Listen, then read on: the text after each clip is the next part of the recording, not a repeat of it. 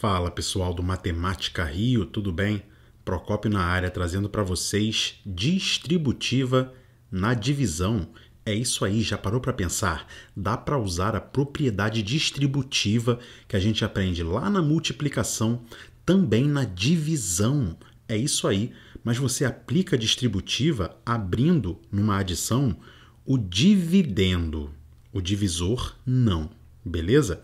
Vamos ver como é que isso funciona? Repara aqui comigo, ó.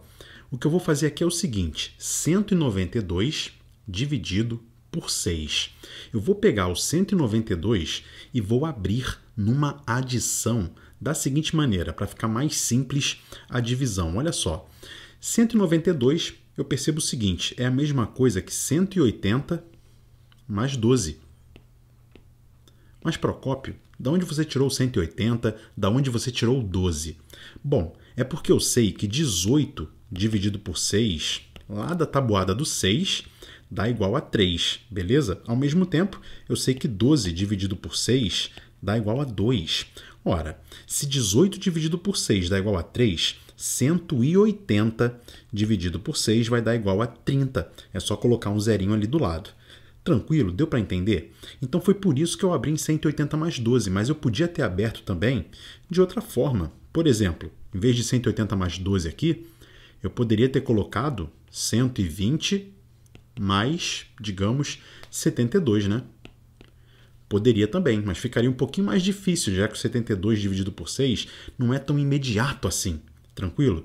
Então eu acho mais simples aqui, ó, colocar 180 mais 12, que aí fica mais fácil. Então, reparou o que eu fiz? Peguei o 192 e abri numa adição. 180 mais 12. E agora eu vou dividir tudo isso daqui por 6. Repara como fica muito mais tranquilo de efetuar essa divisão aplicando a distributiva. Novamente, não posso fazer isso no divisor, apenas no dividendo. Se eu fizer 192 dividido por 3 mais 3, daria errado. Então vamos lá, calculando isso daqui, 180 dividido por 6, repara comigo que vai dar 30.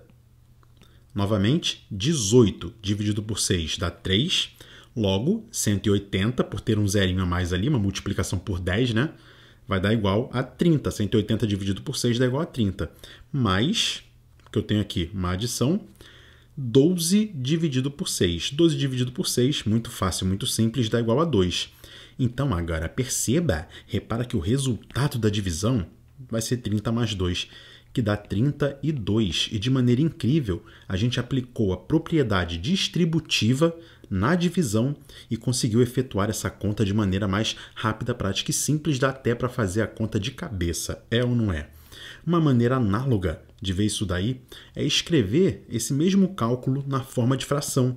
Eu poderia colocar aqui ó, 192 dividido por 6. Dessa forma, é a mesma coisa. E aí fazer o mesmo procedimento. Eu poderia abrir o 192 em 180 mais 12, dividido por 6.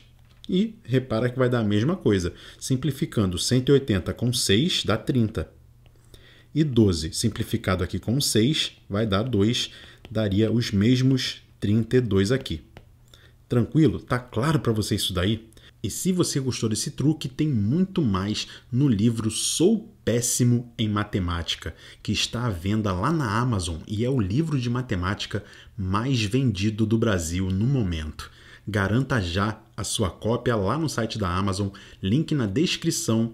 E vem com o Procópio, que aqui o seu sucesso é garantido. Você não está sozinho, eu estou contigo. Até a próxima. Um grande abraço. Tchau, tchau.